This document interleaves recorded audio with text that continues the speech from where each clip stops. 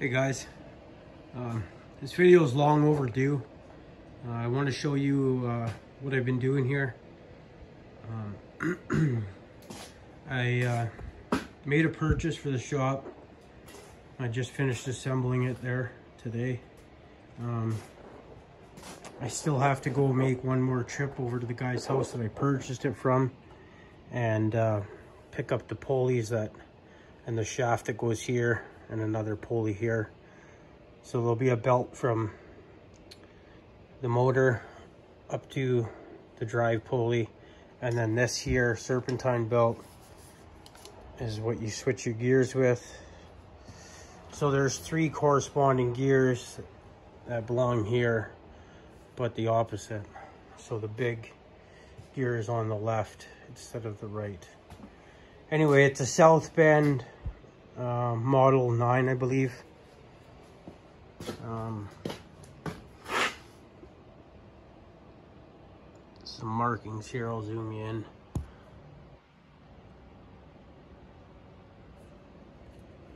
I believe it's a South Bend Model 9. That's what I was told anyhow. Um, so yeah, I had the bike, my son's bike stored over there. I moved it over here.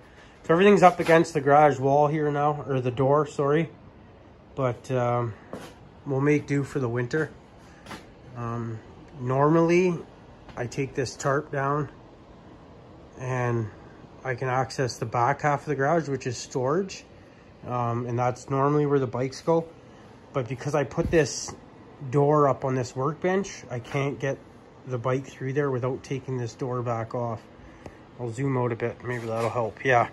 So anyway, yeah, normally that door comes off and I can get the bikes into the back half of the garage. So what you see here is only one half of the garage. The other side is all storage. So, um, because this place isn't insulated, it is vapor barred. I do need to insulate it still. I figured I'd get to it this year, but I didn't. Um, I don't like to heat that side because it's just wide open. Obviously, I can't keep heat in it. I have a little electric heater right here right now.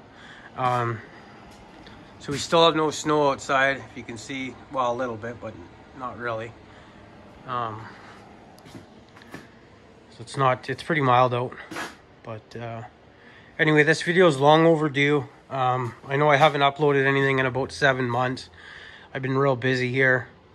Um, but now that I got the uh, lathe set up, I will be doing um, a little bit of machine work and whatnot, and we'll be building some more saws. I do have saws up here that need work. Um, there's three of them back there.